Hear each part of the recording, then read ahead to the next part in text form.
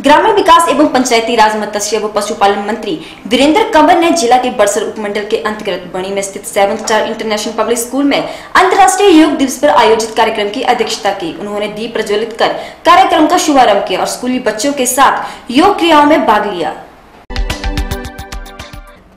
ग्रामीण विकास एवं पंचायती राज मत्स्य व पशुपालन मंत्री श्री वीरेंद्र कंवर ने जिला के वड़सर उपमंडल के अंतर्गत बणी में स्थित seven star international public school में अंतर्राष्ट्रीय योग दिवस पर आयोजित कार्यक्रम की अध्यक्षता की। उन्होंने दीप प्रज्वलित कर कार्यक्रम का शुभारंभ किया और स्कूली बच्चों के साथ योग क्रियाओं में भाग लिया। इस अवसर पर वीरेंद्र कंबर ने कहा कि योग हमारे शारीरिक व मानसिक स्तर को ऊँचा उठाता है और इससे व्यक्ति में अनुशासन व समर्पण की भावना विकसित होती है। उन्होंने कहा कि योग पद्धति विश्व को भारत की अमूल्य देन है। समस्त मानव समाज स्वस्थ रहे इसी उद्देश्य से हमारे मनीषियों ने योग व आयुर्वेद जैसी पद्धतियाँ प्राचीन काल में विकसित की थी। नियमित तौर पर योग करने से तन व मन निरोग व स्वस्थ रहता है। उन्होंने कहा कि प्रधानमंत्री श्री नरेंद्र मोदी के बहुमूल्य प्रयासों से संयुक्त राष्ट्र महासभा ने 21 जून को अंतर्राष्ट्रीय योग दिवस घोषित किया है और वर्ष 2015 से प्रति वर्ष इस दिवस पर पूरे विश्व में ये आयोजन किया जा रहा है। उन्होंने कहा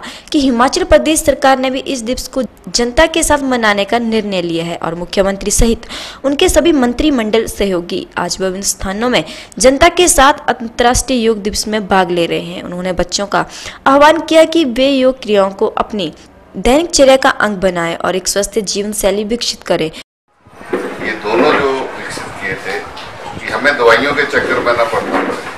हमें जो है वो बीमार ही नहीं होना है।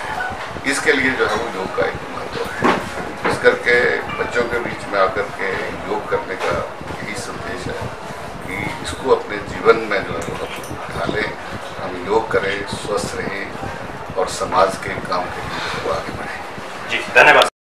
स्थानीय पाठशाला के प्रबंधक निदेशक संदीप कंवर ने मुख्य अतिथि को स्मृति चिन्ह भेंट कर सम्मानित किया। बाद में मुख्य अतिथि वीरेंद्र कंवर ने पाठशाला में स्कूली बच्चों को प्रदान किए जा रहे कुश्ती प्रशिक्षण का भी अवलोकन किया।